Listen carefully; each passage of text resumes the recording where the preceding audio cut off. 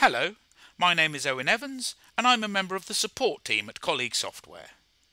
The purpose of this video is to take you through Colleague's SMS feature.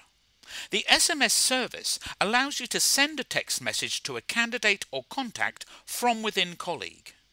The recipient of the message can then reply which will come through as an email.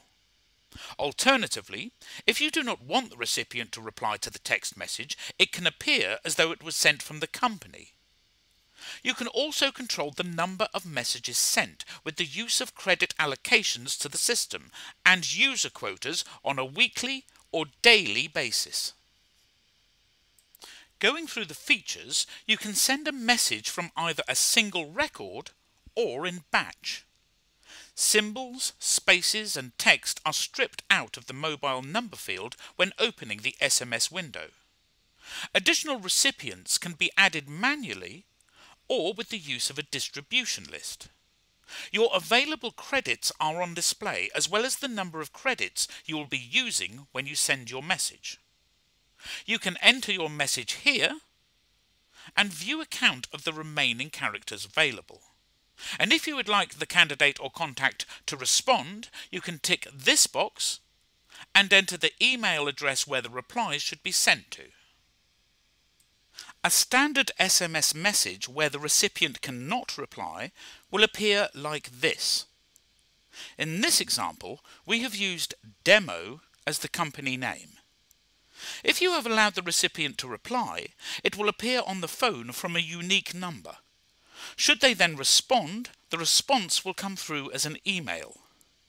The SMS service is provided as an extra module to your system, with the cost of the text messages based on a pay-as-you-go invoicing approach.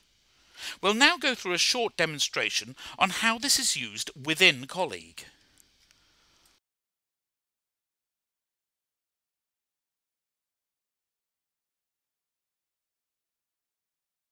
When in a candidate or contact record, you will be able to select the SMS button from the main ribbon. As mentioned, should the data in your mobile number field contain symbols or text, this will be stripped out when the SMS window is opened. You will be able to add additional recipient records by selecting the candidate or contact lookup icons. Enter your message here and choose whether to allow replies. When ready, press Send. You will notice that a history record will be created, marking the date and time of the SMS and its contents.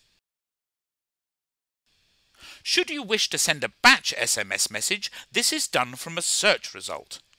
Highlight the records you wish to contact and click on the SMS icon.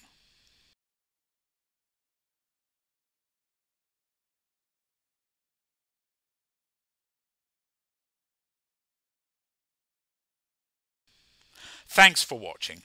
For more information on the pricing and the setup of the SMS feature, please contact the support team or your account manager.